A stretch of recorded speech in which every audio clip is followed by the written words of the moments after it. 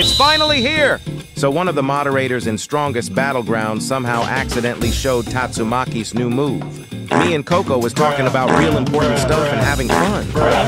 And after I done talking to him, I started scrolling Trump the Yielding Arts Discord server, which is the Strongest Battlegrounds Discord server, by the way. Man, shut your... But all of a sudden, a Discord mod showed up and accidentally sent the leaks of Tatsumaki's second ultimate move.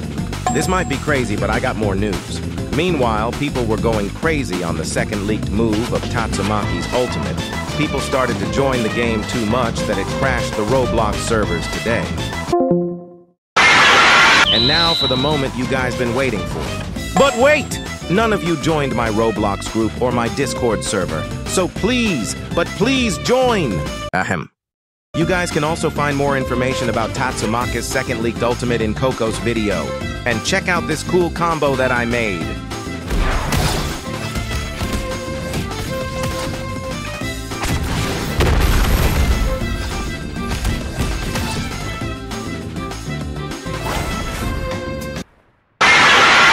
Now that was the amazing combo right there. How was the combo? Let me know in the comments. And now for the moment you guys been waiting for. I represent you, the new leaked Tatsumaki's second move.